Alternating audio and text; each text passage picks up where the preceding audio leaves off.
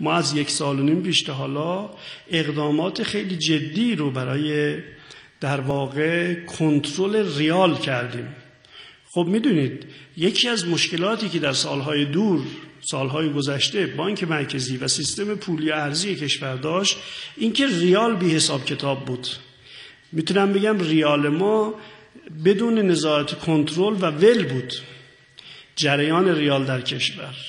ما اقدامات خیلی جدی رو در چند ماه گذشته یک سال گذشته برای کنترل ریال انجام دادیم.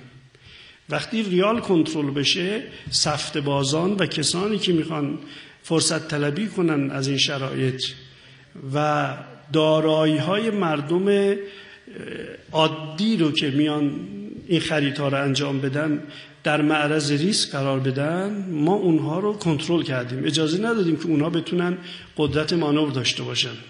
و رمز موفقیت بانک مرکزی بخش قابل توجهش در کنترل ریاله. چون خیلی از مردم اینها رو در جریان نیستن. و همه فکر می‌کنن که بانک مرکزی صبح شب تو بازار داره ارز میریزه. حتی بعضی از افراد سادلو می‌گفتن بالاخره شما ارزتون تموم میشه. بعدش می‌خواین چیکار کنین؟ برای اونایی که فکر می‌کردن ارز ما تمام میشه بگم که اتفاقا در این مدت ارز ما زیاد شده.